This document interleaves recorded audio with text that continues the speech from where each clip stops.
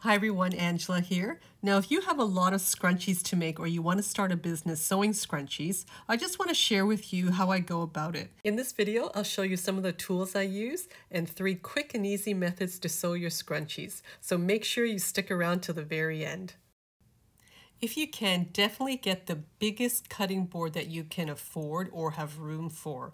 At least as wide as your fabric when it's folded in half. It's going to make your life a lot easier.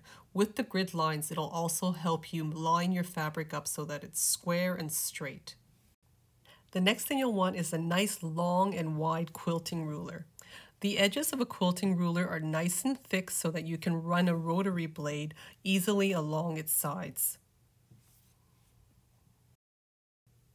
You want the ruler long enough so it'll go right across the width of the fabric and also wide enough so that you can look at the markings and then easily cut out any width fabric that you need. Another handy ruler to have is this 2 inch grid ruler with a metal edge. Sometimes I don't need to use a big quilting ruler and I just need to cut a short edge so I can run my rotary knife along that metal bit and not damage the thin plastic. Next is my favorite rotary cutter. This one actually has safety covers on both sides of the blade and this way I can hold it with my finger on the top of the blade and my thumb on the side and holding it like this I have complete control when I'm cutting out the fabric.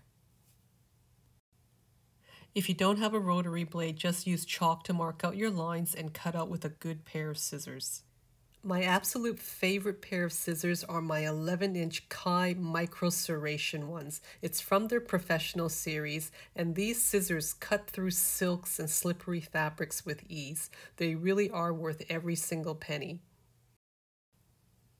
Now we've got our fabric folded in half with the shiny right side of the satin together. Now you can cut your fabric pieces one strip at a time, but we're going to lay out our fabric and stack them. Put down a weight to keep the fabric from shifting. Next, I'm going to cut away the selvage edges from all the fabric. I never leave selvage in any of my sewing projects. The selvages are thicker and more tightly woven, and that's why you shouldn't use it.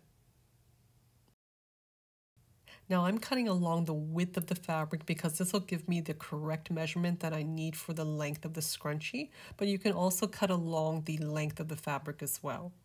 Stack the fabric by color and then roll it up with the open ends to the right ready for the sewing machine. Now, if you're using a fabric such as chiffon, it's not so convenient to lay out and stack. It shifts too much and it wastes too much time to fiddle around with it. So first what we can do is just cut off the selvage edge. You just need to snip the ends and then literally just rip it away. When you rip this type of fabric, it rips really straight and easily.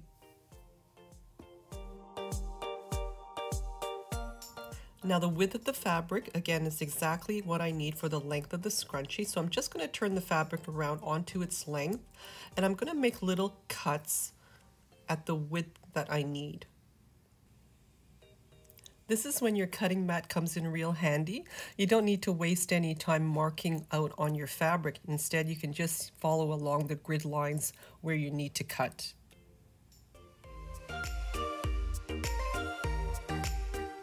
Now just tear along all of those little cuts and you'll get a perfect straight edge because it's tearing along the weave of the fabric.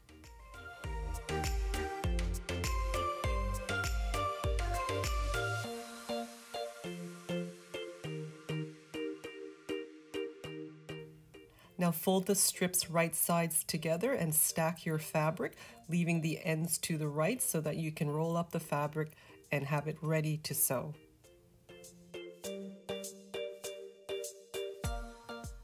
Another way I cut out fabric is by marking it with a meter stick and a piece of chalk, and then I use my electric cutting knife to cut out the pieces. Not only will it save you time, but it will also save your hands.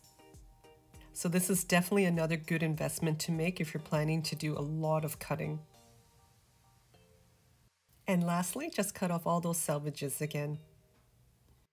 For the elastic, I use quarter inch braided elastic and I buy it in bulk on the roll. You can cut your elastic with scissors, but I prefer to use my rotary blade and the measurements on the mat. The only problem is if you keep cutting on that same spot, you're going to cut right through the mat. So what I use is some of these cheap, thin food cutting boards. And what I do is I put two pieces of foam mounting tape to the measurement that I need to cut the elastic. So all you have to do is just push the end of the elastic against the tape and cut with the rotary knife on the other side. So this is a nice quick way to make sure all your elastics are the same length. And as the cutting board gets worn out, all you have to do is move the tape to another position on the board. So now we're ready to sew. We just need to unroll this first bundle. Make sure the cotton you're using matches the right side of the fabric.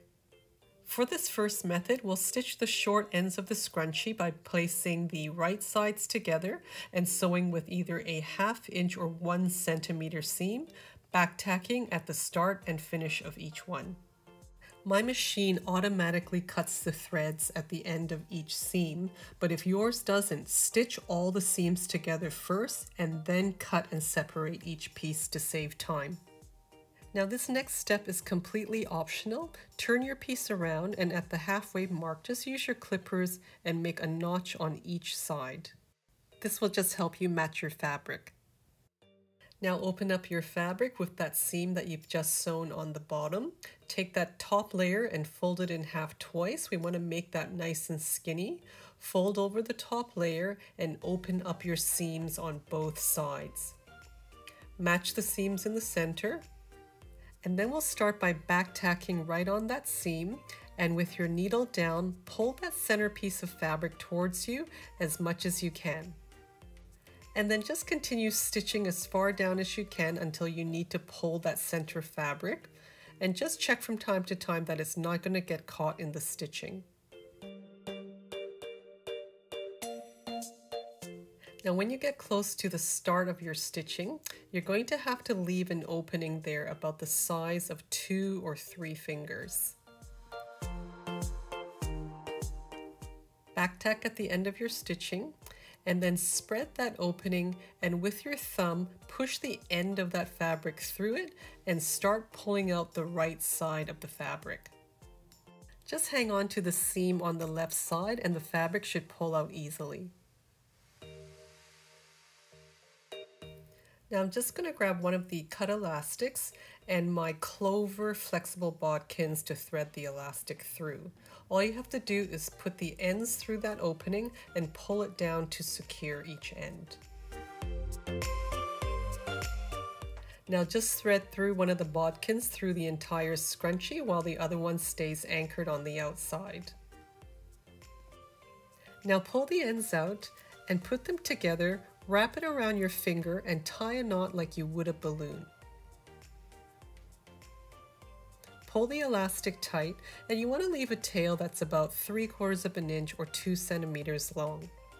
Next, tuck in the fabric of the opening and pull on it a little bit so that the edges of the folds match. Now stitch nice and close to the edge of the fold to close that opening. And lastly, cut your threads really well now so that you don't have to do it later. Now for the next two methods, you're going to take your cut elastics and again, tie your knots like a balloon, leaving that 3 quarter of an inch or 2 centimeter tail at the end. Now if you're finding this video helpful, make sure to like and leave a comment. For the second method, we're going to sew the short side of the scrunchie again with right sides together, back tacking at the start and finish of the seam. Just like before, you're going to open up your fabric with the seam that you've just sewn on the bottom. And then you're going to fold over the top layer a couple of times to make it skinny. Fold over the top layer, again open up your seams and match it at the center seam. But this time you're going to grab your elastic and you're going to just place it in the center between the fabric and push it over to the left side. With the elastic out of your way, start by back tacking right on that seam. Pull a little bit of the top layer of fabric through the elastic, stitch a few inches, And then with your needle down, pull that center fabric towards you. So you're going to sew just like you did the last version. All you have to do is just keep pulling that top layer of fabric through the elastic as you sew. Just keep your fingers through the elastic so that you can pull it while you're sewing. By doing it this way, you won't have to do any threading of the elastic later.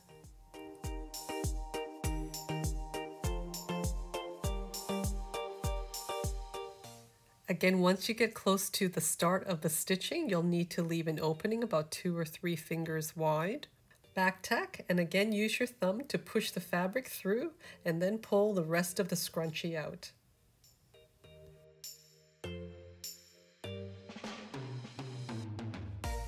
And then just stitch your opening closed. Now for this last method, it's just slightly different. We're going to stitch the side again, but we're going to back tack and only stitch down about an inch and back tack again. Leave a space about two or three fingers wide, back tack and stitch to the end of the seam. And back tack to finish.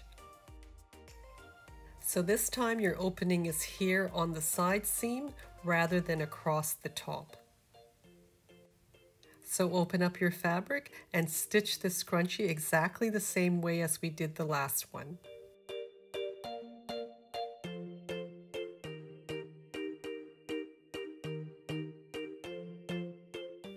This time you're going to stitch right to the very beginning where you started stitching. There's no need to leave an opening because we already have that opening on the side.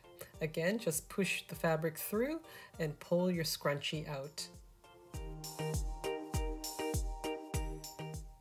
Stitch that opening closed and this time you're left with a beautiful scrunchie without any stitching along the outer edge.